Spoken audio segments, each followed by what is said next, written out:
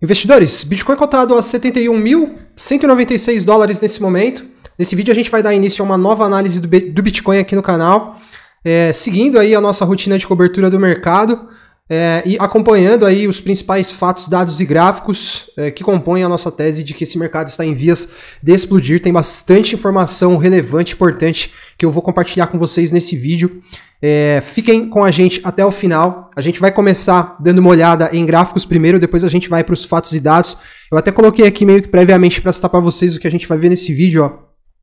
É como o Bitcoin está sensível aos dados, de, aos dados que impactam a dinâmica de juros ao dólar. Os ETFs americanos estão batendo recordes.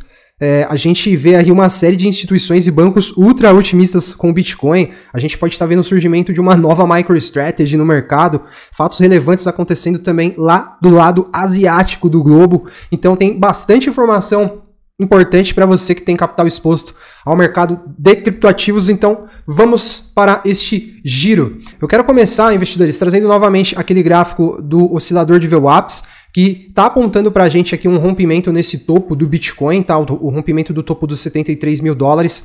É, nesse momento, o oscilador está mais ou menos neste nível aqui, ó. E se a gente é, der uma conferida no padrão que ele vem é, mostrando para a gente durante o ciclo, é, quando ele tem atingido esse mesmo nível aqui, que é o nível em que ele se encontra atualmente, a gente viu, olha só, continuidade no movimento de alta do Bitcoin, tá vendo? O mesmo aconteceu aqui nesse ponto, ó. Logo depois a gente viu uma escalada no preço do Bitcoin, né? Neste momento aqui, eu acho que a gente teve um pouquinho de atraso, mas o sinal principal do indicador é o cruzamento de baixo para cima nessa escala aqui do nível zero, tá vendo? Então, é, neste momento aqui, ó, ele deu ainda um sinal muito assertivo, tá vendo? É, capturando essa alta aqui do BTC. E como a gente pode ver, quando a gente chega nesses níveis é, onde ele se encontra atualmente, pelo menos o comportamento desse ciclo, é, representa para nós uma grande chance da continuidade do movimento. Né? No caso, então, a continuidade dessa alta que a gente teve aqui. Eu já vinha antecipando para vocês, já vinha é, trazendo para vocês esse indicador e mostrando que a gente tinha aqui um cenário de divergência né, alguns, algumas semanas atrás, o preço do Bitcoin formando fundos descendentes, o indicador formando fundos ascendentes aqui no histograma. Então, é, esse é um indicador que tem sido bastante útil para a gente tentar entender movimentos possíveis de curto prazo. Aqui a gente não tem nenhuma pretensão de ficar cravando 100% aquilo o que vai acontecer com o preço no curto prazo. É, a gente acaba sendo muito mais assertivo quando a gente projeta de médio a longo prazo, e de médio a longo prazo não precisa ser nenhum gênio para saber o que, que, vai acontecer com o preço do Bitcoin nesses próximos meses, né, investidores? Mas a curto prazo a gente tem aqui indicativos interessantes de que a gente pode sim ter esse, o rompimento do topo dos 73 mil dólares acontecendo a qualquer momento. Esse já é um estudo que traz para a gente uma proposta. É, para médio e longo prazo no Bitcoin, na verdade, ele está aqui mais ou menos projetando onde a gente pode ver é, uma região de formação de topo para este ciclo, né? E ele, esse estudo tem como base o índice de força relativa do time frame mensal, que é, de acordo com o racional do estudo, traz para a gente aqui é, uma possibilidade da gente ver o Bitcoin formando o seu topo, ou entrando em uma região de formação de topo quando o IFR mensal atingir a casa dos 90 pontos. É, isso deve levar o Bitcoin ali para uma casa entre 160 mil dólares e 200 mil dólares, algo que está muito alinhado com as nossas perspectivas, é, com a perspectiva que a gente trabalha aqui no canal, né?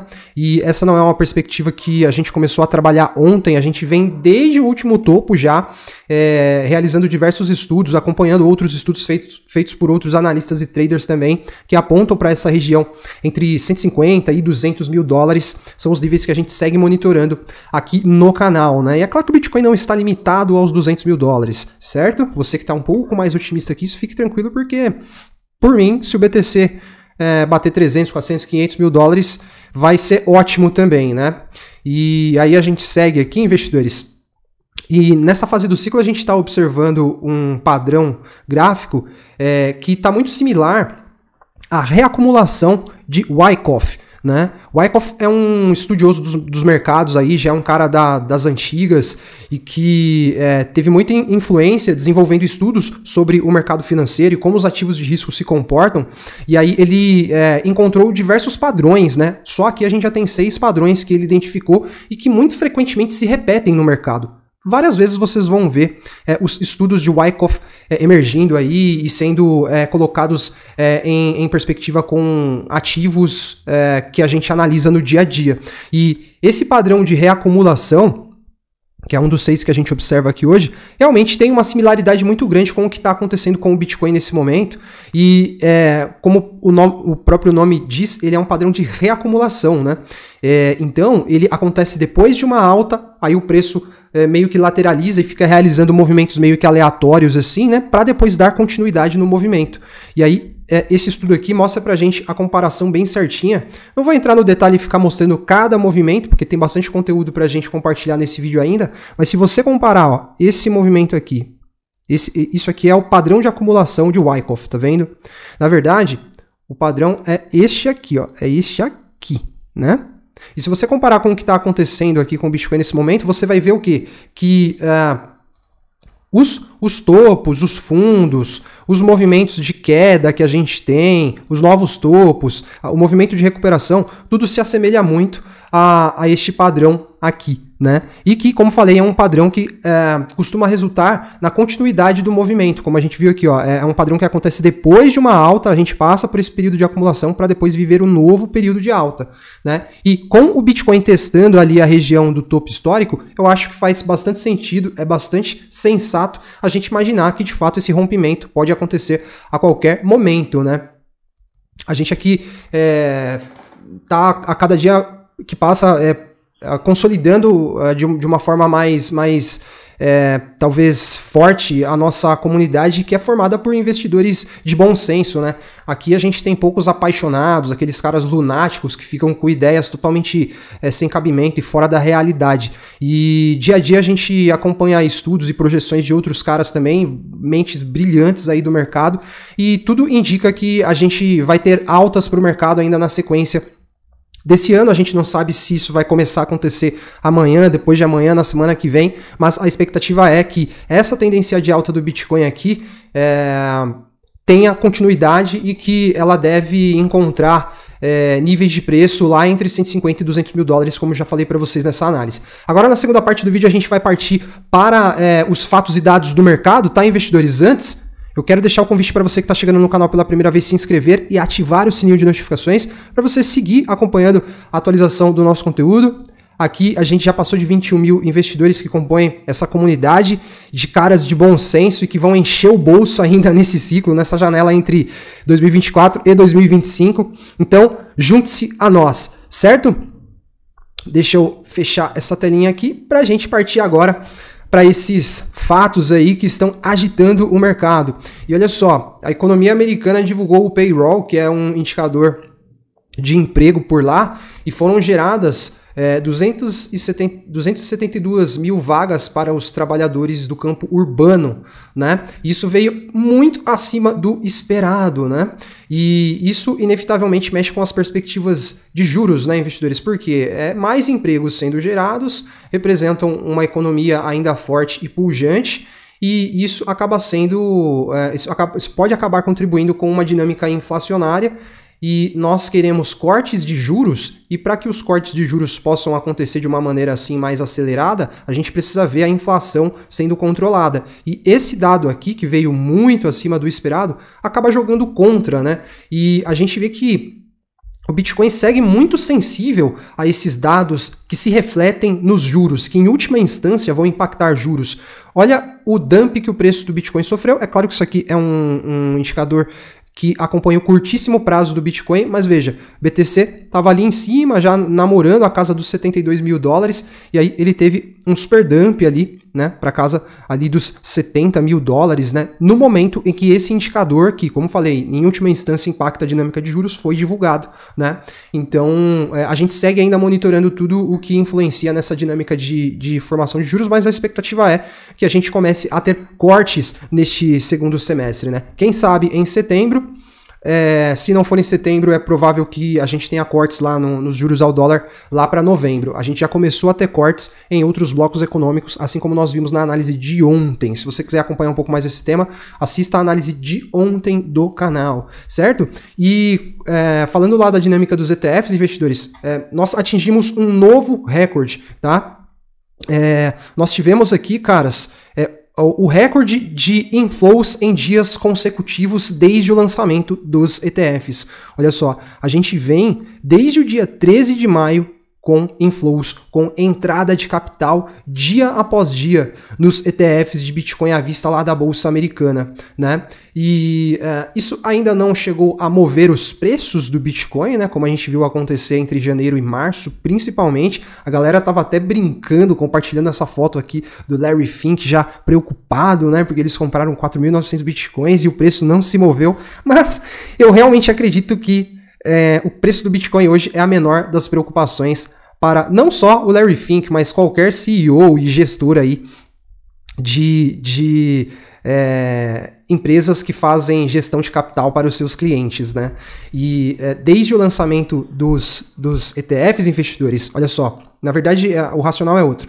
Desde o halving do Bitcoin, que aconteceu na segunda quinzena de, de abril, os ETFs já acumularam mais de 200% da oferta de bitcoins que foram minerados. Né? A gente teve aqui ó, 108 mil bitcoins minerados, certo?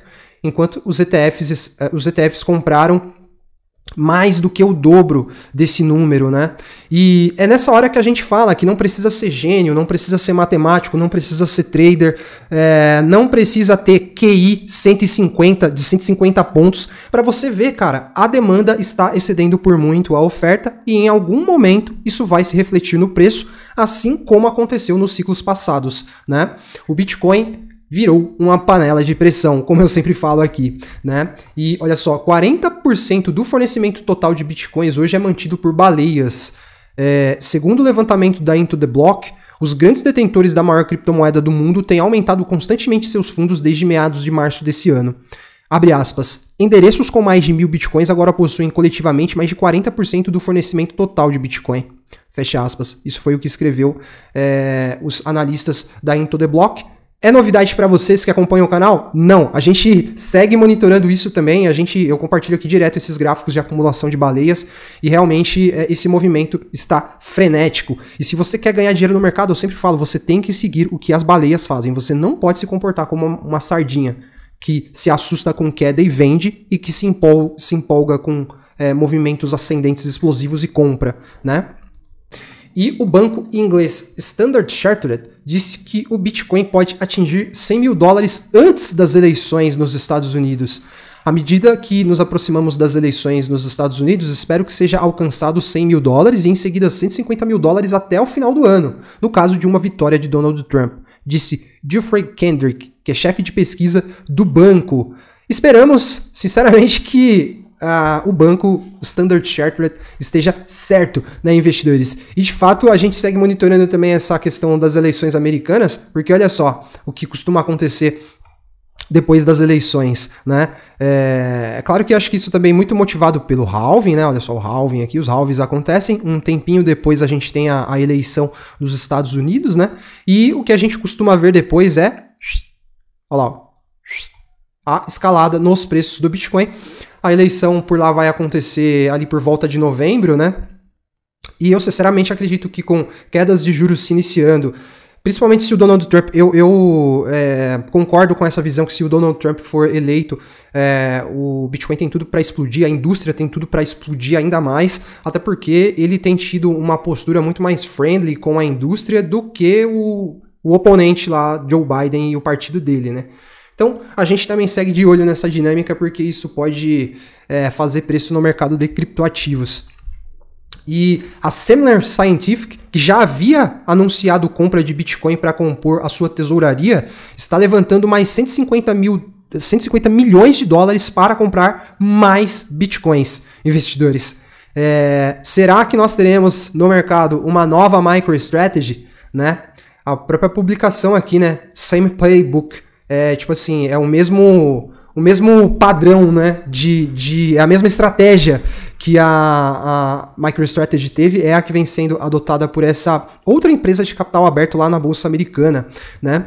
E isso aqui eu acho interessante, relevante, importante.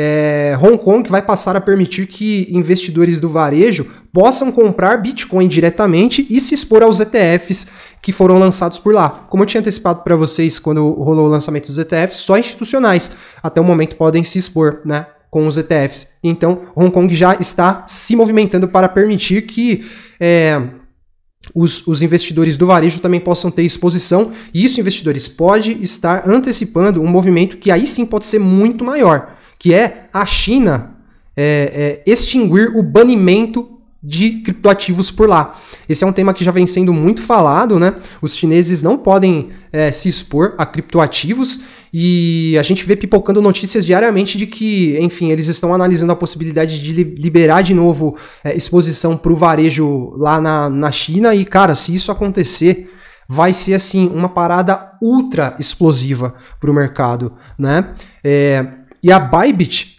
que é a segunda maior corretora do mercado nos, nos dias atuais, com volumes principalmente focados no varejo, é, vai abrir a sua plataforma de trade spot para os chineses que vivem fora da China, né?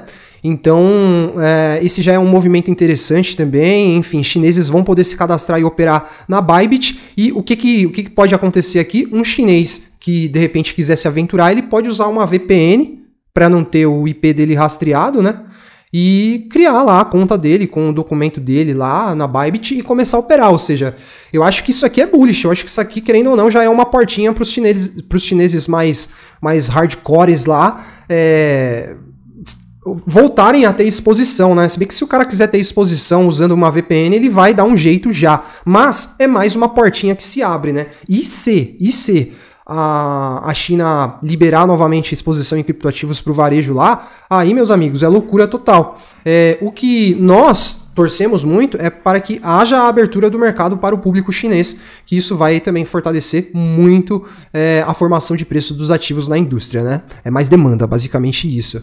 E olha só, o Jensen Huang, falando aqui de uma dinâmica lá do mercado corporativo, do mercado tradicional, é, vendeu 775, 735 milhões em ações da Nvidia, né?